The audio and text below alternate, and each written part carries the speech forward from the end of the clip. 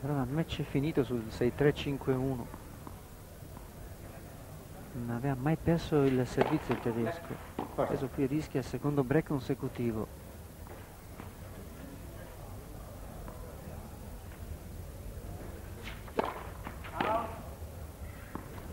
E qui deve è obbligato a prendere un rischio.